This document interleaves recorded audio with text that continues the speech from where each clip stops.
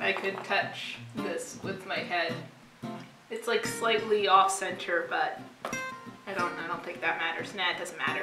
Hi everybody! I bet you weren't expecting this. A Kooky Kraft in 2022?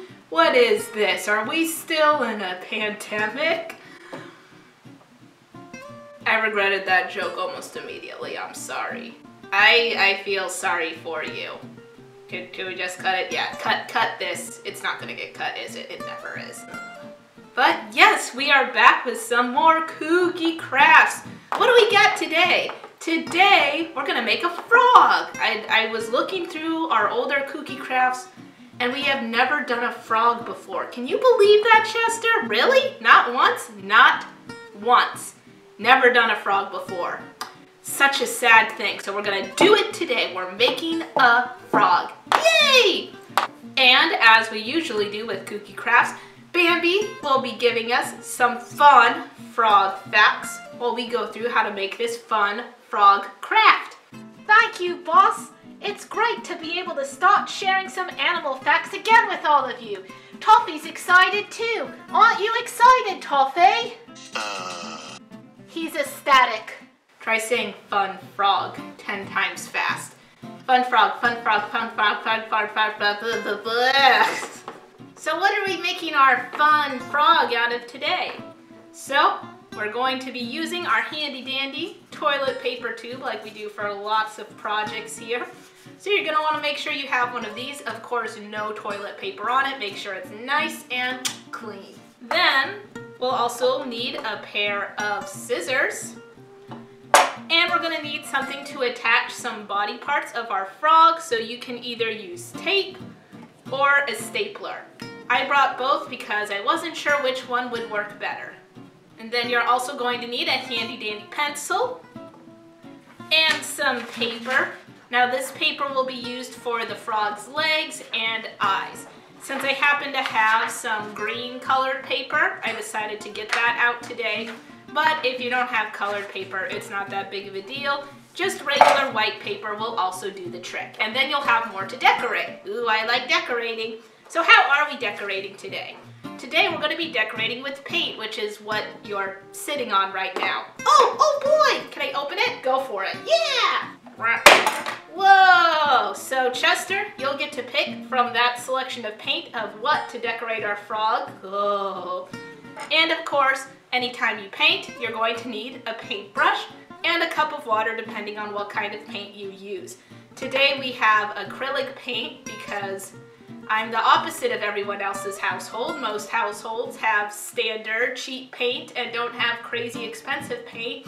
I have acrylic paint and don't have cheap washable paint because why would I? But before we dive into the paints, we're going to first cut our toilet paper tube in half. So Chester, if you want to hold this, I'm going to get the scissors and we're going to cut right down the middle of the toilet paper tube. You might not want your mouth in that close. Perfect. So we could technically make two frogs for the price of one. Exactly. You can turn both of these sections of the toilet paper tube into frogs. So the next thing we're going to do, decorate? No, no, no, no. Before we get to decorating, the next thing you're going to want to do is pick an end of the toilet paper tube and whoop, you can already see it's springy, just like a frog. We're gonna pinch it shut, and that's going to be the back end of our frog. So you're either gonna wanna use your tape or your stapler to attach this back end together. Today we're gonna use a stapler, so if you wanna hold that, Chester, I'm gonna staple our back end together here. So if you're using a stapler, I would recommend putting one staple on each corner of the back end of your frog. And this part we're gonna keep wide open for that lovely inside of the mouth of your frog. Now, now we decorate? Not yet. Aww. Now what we're going to do is we're going to take our white paper here and draw two small circles that will be the eyes of your frog. Got one, and I'll try to make the second one about the same size.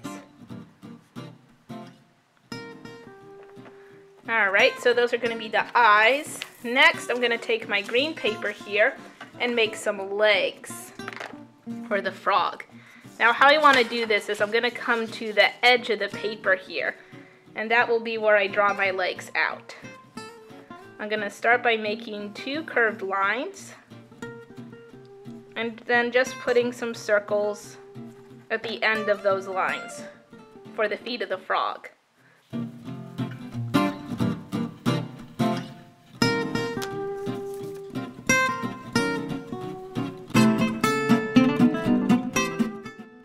Frogs are amphibians, meaning that they are cold-blooded and spend part of their life under the water. All amphibians undergo a life cycle where they start as eggs underwater, then hatch out as polywogs, begin to grow legs and develop lungs before finally emerging on land as adults. Frogs are unique in that they will drop their tails once they reach adulthood. You can find frogs wherever land is warm and wet, and they can come in all sizes, from the smallest at 7.7 millimeters to the largest at 12.5 inches.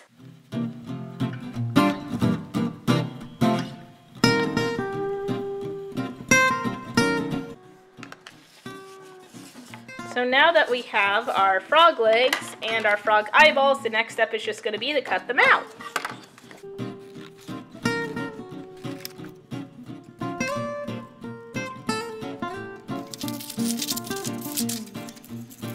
Now that we have all of the pieces of our frog, it is time to paint some colors onto the body. So what have you chosen here, Chester?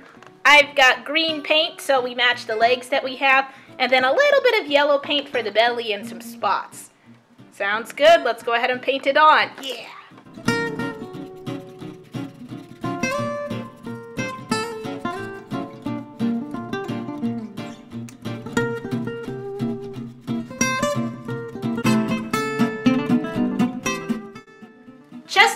Choice colors reminded me of one of my favorite species of frog, the magnificent tree frog.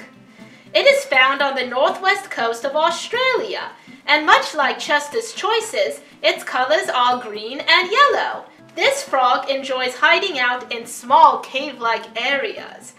But if it's in a neighborhood, you might find it in your shower or your toilet. Imagine, you're doing your business, and there's a frog living in the toilet. How uncivilized.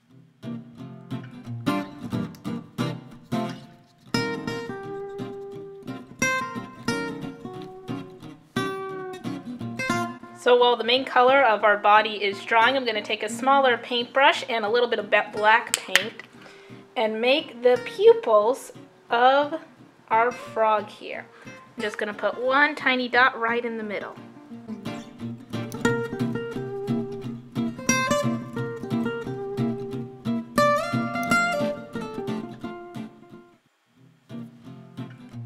Alright, our main body is dry, so I'm going to take my smaller paintbrush and get some yellow details onto the frog.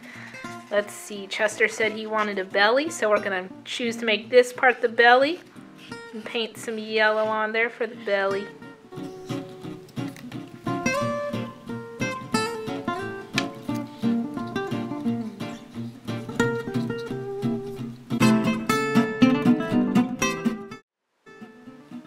Another one of my personal favorite frogs are poison dart frogs. These small cuties are best well known for their vibrant colors, warning predators to stay away. These frogs get their poisonous glands from the food that they eat. When they consume ants and termites, the toxins in those insects stays in the frog's system, allowing the toxin to be passed on to any predator that tries to eat the frog.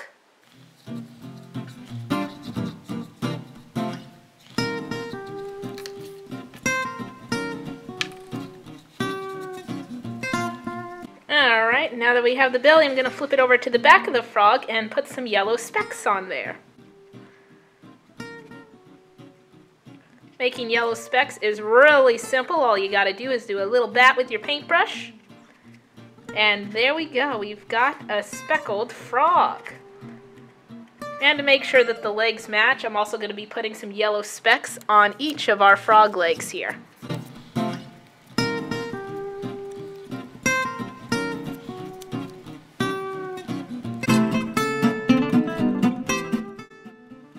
American bullfrog can be found across ponds, rivers, and lakes in the eastern United States and Canada. These fellas are everywhere, and that isn't necessarily a good thing, as they have become an invasive species in several western states. Right now, they pose a threat to the California red-legged frog because of their ability to handle rough climates and their mass consumption of the insect population. Basically, they don't leave anything for any of the little guys to have. They get the name bullfrog from the bull-like chorus noise they make. Males will often come together in groups to make the loudest noises in order to attract females. Think of it as a frog version of American Idol meets The Bachelorette. Hey Toffee, can you give me your best frog sound? Are you finished? Hmm, I think I'd try to do it more like this. That's about how it sounds. And for one extra detail, uh, you don't have to do this if you don't want to, I'm going to take a little bit of dark pink or you can use red and paint the inside of the toilet paper tube for the inside of the frog's mouth. Use my big paintbrush for this one.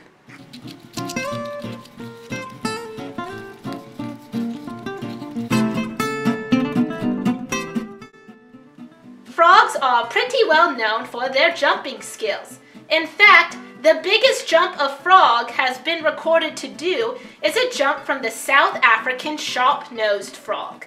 This frog holds the record for the longest jump at 130 inches in one leap. That is 44 times its size. And it's not a big frog either, it's a little one. Imagine if you could jump the length of 44 of you. That's how powerful this frog's jump is.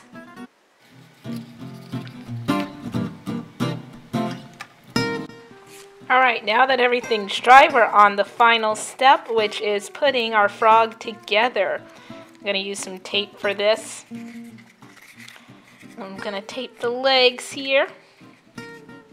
Now right now I'm using masking tape. You could use just regular scotch tape. I just happen to not have any scotch tape right now.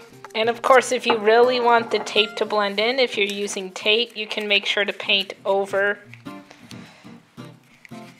that as well. Now the important thing here when you're attaching your legs is you're going to want the front legs pointing out and the back legs pointing towards the back so it'll look like that the frog is trying to hop.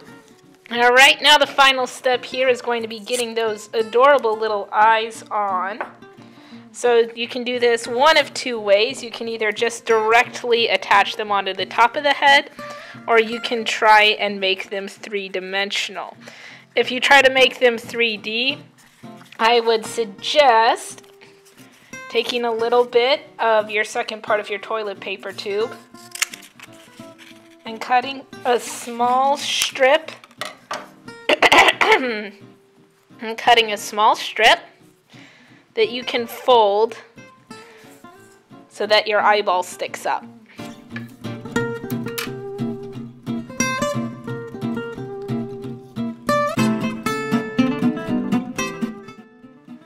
Frogs and toads are often mistaken for each other. Some of the easiest ways to tell the difference between them is their skin and legs. Frogs have smooth skin and long back legs for higher jumping, while toads have bumpy skin and short back legs. A frog's skin is actually quite thin and very susceptible to the elements, which is why they stay close to the water. A toad's skin is rougher and more thick, which helps the toad venture further from the water and live underneath and inside wet logs in the forest. Ready? Yep, here is our fun little frog. Oh, look at his little face. I like how his mouth is wide open. Zoom in on that. He's just going, ah! So that is all for this episode of Kooky Krafts. If you liked making a fun frog with us, go ahead and put a pause up and press that like button. Don't forget to comment and subscribe. What would they comment about? Maybe they could comment about how you need to go get some regular tape instead of using masking tape because it's clearly not working with this little guy. Wow, way to call me out on my lack of certain supplies. Please don't comment that, comment it. Spam it, don't spam it, spam it! Oh, thank you again. It felt so good to share some frog facts today. I really enjoyed it. Toffee and I are here whenever you are looking for some fun animal facts. Right, Toffee? Still the same as ever. So with that being said, we'll see you next time, whenever that happens to be. Goodbye! Hey, pounce it on my nose. Nah. Nah. Nah. Nah.